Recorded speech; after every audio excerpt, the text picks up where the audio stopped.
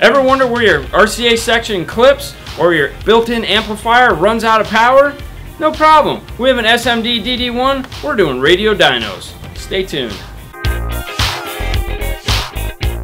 So today's radio is the Alpine ILX 107. I know, right? But it's available. We need to do it. Um, the main reason why I want to do this radio is because of the 2 volt output that everyone is losing their cookies over. I want to see is it a 2 volt because a lot of yeah. times they say it's 2 volts and it's like 1.8, 1. It's not 2 volts. So I want to see is this thing actually 2 volts? Is it a little more than 2 volts? What do you think? I think it's a little bit more than You think it's a little bit more than 2? Yeah. You mean like 3 volts? Uh, Being optimistic? No. Go all the way. Fernando's thinking it's 3 volts. All right for him. No. So, without further ado, you said yes. Here it is, the Radio Dyno ILX 107. First test, USB RCA output, 40 hertz. All right, signal is turned up all the way, and we have 2.1 volt output.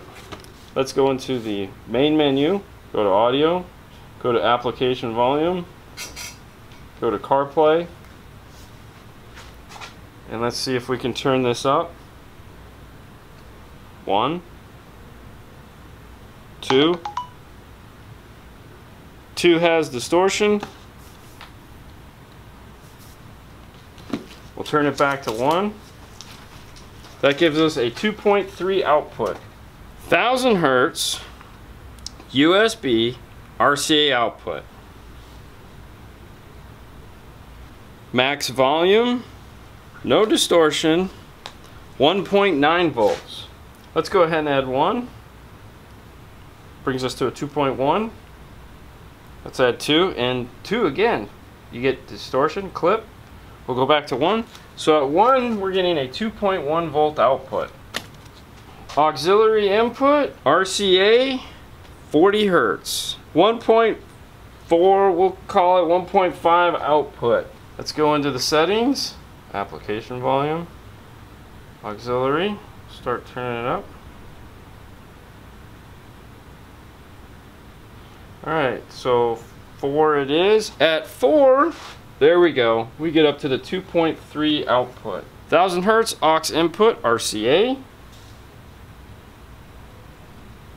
Ooh, max volume clipping. Oh wow. Alright. Well that stinks. So yeah. So max volume, we can't do any plus on that, so that means that's a 34. And we're only going to get 2 volts of output. 40 hertz, preamp level output, CarPlay wireless. Maxed out, 2.1 volts. Let's go into the menu, application level, CarPlay, give it one, two distorts. So we're going to call that 2.3 volts. 1000 hertz, preamp level, wireless CarPlay. Max volume, 2.1. One? Ooh, one clips. So we're going to leave that at 2.1.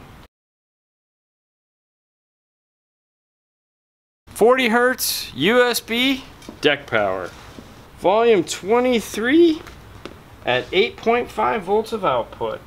1000 hertz USB deck power. 23 at 8.6 volts of output. 40 hertz auxiliary deck power. 24.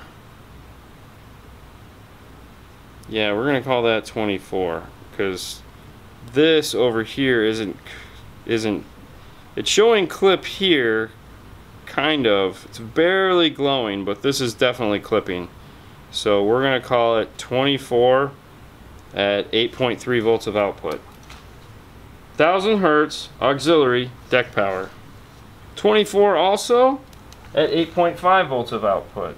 40 hertz wireless CarPlay deck power.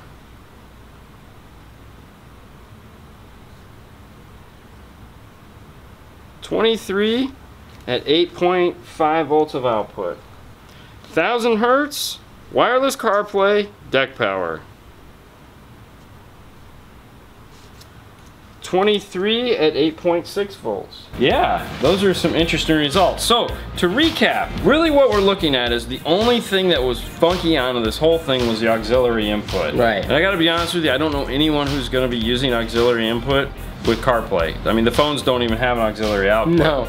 But the one that was really weird was the auxiliary. We had like 1.5 volts on the 40 hertz, Mhm. and we could turn it up, but then when we played the 1000 hertz, we couldn't turn it up. As soon as we hit one, it, it clipped. So Right. at the end of the day, if you're using aux, you're only gonna get 1.5 volts for the sub at 40 hertz, but you'll get 2 volts at 1000 hertz. So, yeah. Now, the USB and the Wi-Fi or wireless CarPlay, yeah. the results were exactly the same, exactly the same. So someone asked, do you think there's a difference between plugging it over the USB or doing it over Wi-Fi? Was one of the reasons why I wanted to do this Right. test. And there is no difference whatsoever. the They were the exact same results. They clipped at the exact same spot. As far as you hoping to get like three volts of output, no, Alpine is giving you two volts. That's it. Anything past two, Two volts? point. Well, we got 2.1. There you go. I win. All right, all right. So you Two got point one. 2.1. uh, it looks like if you're going to be using deck power, you're going to want to be in that 23 to 24 range before it clips. So set gains accordingly. If you're going to be adding a sub amp, you're definitely going to want to turn them up a little bit. Well, this one's in the books. There you guys go. Continue to be angry at the radio for only having a 2 volt output. yeah. And it does have every bit of a 2 volt output. All right, that's the end of this one. Hope you enjoyed as usual. Till the next one, you guys have a great night. We'll see you later. Bye.